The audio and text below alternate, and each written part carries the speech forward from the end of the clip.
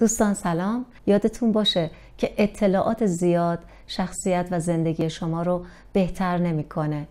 تمرین کردنه که از شما آدمی با دیدگاه جدید می‌سازه. پس تمرین کنید. تمریناتی ساده ولی نسبت بهش هوشیار باشید که در طی روز انجامش بدید. تمرینی که اینجا می‌خوام بهتون بدم مراقبه کردنه که هر اطلاعاتی رو از هر جایی وارد ذهنتون نکنید. ذهنی که پر از اطلاعات پراکنده میشه انرژی زیادی رو از دست میده و اون موقع برای اینکه به سمت هدفاتون برید می‌بینید انگیزه و انرژی کافی ندارید. خسته اید. چون این ذهنه مدام در حال پردازش اطلاعات بی ربط به وضعیت مطلوبتون بوده.